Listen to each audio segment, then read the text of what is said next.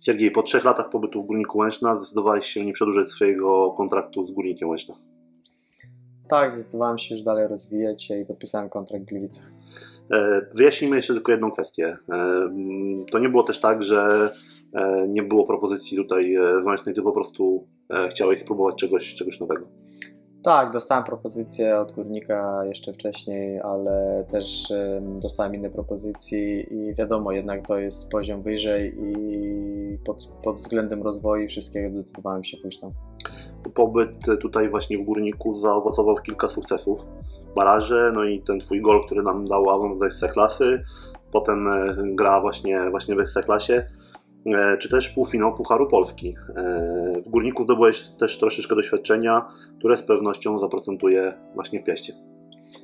No zdecydowanie swoje takie, można powiedzieć, e, dojrzałem piłkarsko, to, to oczywiście w Górniku. Górnik można powiedzieć, że e, pod takim wieloma względami, bo zmieniłem trochę i trenerów, i Kamil Kiereś, i Marcin Prasow, i teraz e, trener Remiusz Mamrot, więc od każdego sporo wyciągnąłem, każdy, każdy tak naprawdę, można budować, budował moją post- postać. A te najważniejsze, takie jak mówisz, że bramka, czy, czy, czy, czy te dobre lub złe, to oczywiście to są to cała zasługa trenerów. I na szczęście też miałem przyjemność, bo odkąd tu przyszedłem, tu zawsze miałem przyjemność być wśród bardzo fajnych ludzi, bardzo fajna szatnia, bo wziąć od, jak przechodziłem do pierwszej ligi, to już była mocna szatnia, starsza. Z każdym, do, do, do teraz mam z każdym kontakt i zawsze kto by nie przychodził do Łęcznej, to zawsze miał łatwość taką, że bardzo szybko tak naprawdę nawiązywał kontakt, e, super relacje i bardzo dobrze się czuł już e, tutaj w Górniku. No właśnie, już trochę o tym powiedziałeś, ale jak ocenisz ten twój pobyt tutaj, tutaj w klubie? No chyba też w ogóle od początku się dobrze tutaj czułeś, bo nie ma co ukrywać, że odkąd y, przyjechałeś do Polski, no to Lubelszczyzna to tak naprawdę twój drugi dom. No tak, tak, tak. Taki mój, można powiedzieć, dom, dom to jest Biała Podlaska, top, tam wszystko, bo wiadomo. I później wyjechałem i znowu wróciłem na Lubelszczyznę, więc tutaj Łęczna to jest oczywiście po trzech latach, to jest też, tak jak mówisz, że sama ta Lubelszczyzna jest drugim domem moim. I pobyt tutaj włączony, wiadomo, ze sukcesami, porażkami, to każdy na swojej drodze to ma, ale zawsze to wspomnienie, które nie da się zapomnieć. I chyba właśnie przez to, że troszeczkę połączyłeś się rodzinnie z tą Lubelszczyzną, to będziesz tutaj wracał. Oczywiście, oczywiście. Tutaj mam przecież i blisko żony, stąd mieszka ten, więc dla mnie, jak będę miał możliwość, zawsze będę padał. W obecnym sezonie zostałeś najlepszym strzelcem Górnika, masz na swoim koncie 7 trafień, e, ale w sumie w ciągu tych trzech lat pobytu ustrzelałeś aż 16 bramek. Czy któraś z nich smakowała Ci tak wyjątkowo szczególnie? No, zdecydowanie ta na wagę, na wagę awansu, tak, no bo to jest no, taka najważniejsza do tej pory moja bramka, którą, którą strzeliłem. No tak śmiechem żartem teraz troszeczkę. Kibice jednego z klubów Ekstraklasy byli bardzo niezadowoleni, że wracasz właśnie e, z powrotem do tej ligi i zagrasz przeciwko nim. Wiesz o kogo chodzi?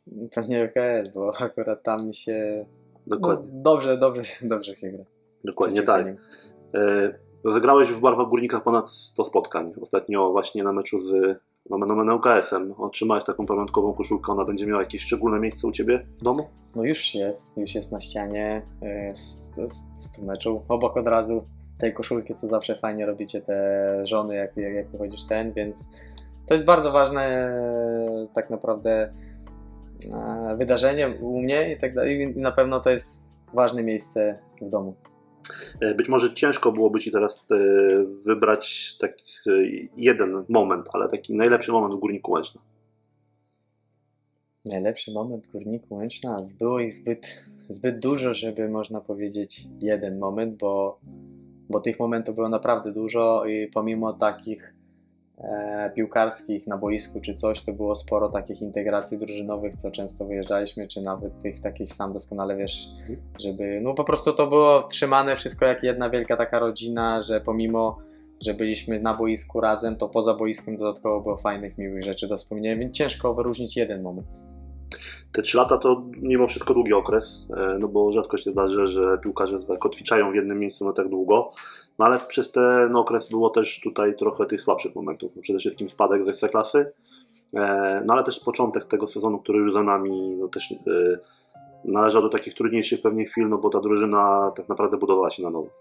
Oczywiście, ale każdy, kto ma do czynienia z jakimkolwiek sportem, wie doskonale, że to się nie, nie, nie jest ta droga tylko samych sukcesów, no bo na, dro na drodze zawsze pojawiają się te, te porażki, te upadki, to wszystko i to jest kwestia po prostu się podnieść i patrzeć dalej i przejść po prostu przez to, no bo to jest normalna rzecz i wierzę w to, że ten sezon był ciężki dla nas, dla wszystkich, dla, dla zawodników i dla kibiców przede wszystkim, bo, bo, bo sporo tych takich emocji było, można powiedzieć pozytywnych i bardzo dużo negatywnych, ale przeszliśmy to razem, wykonaliśmy cel, utrzymaliśmy i wierzę i trzymam kciuki, że dalej znowu się rozwinie i Górnik też pojawi się w tej ekstraklasie już niedługo.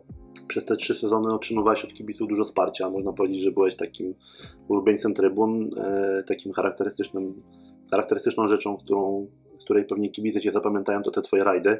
E, niektórym kibiców no, ciężko się tak pogodzić z tym, że jednak opuszczasz mocno, co byś im powiedział na koniec. No dla mnie przede wszystkim to, że byli na boisku to też ważne, a dla mnie takie wielkie podziękowanie, bo oni byli ze mną w tych takich moich, można powiedzieć do tej pory najtrudniejszych momentach, kiedy to wszystko się zaczęło tam na Ukrainie to wtedy bardzo dużo wsparcia dostałem od ludzi z Łęcznej, zewnątrz, wszyscy mi pisali, każdy mi chciał pomóc, więc to jest takie coś, co się nie zapomina i za to chciałbym bardzo podziękować e, dla wszystkich.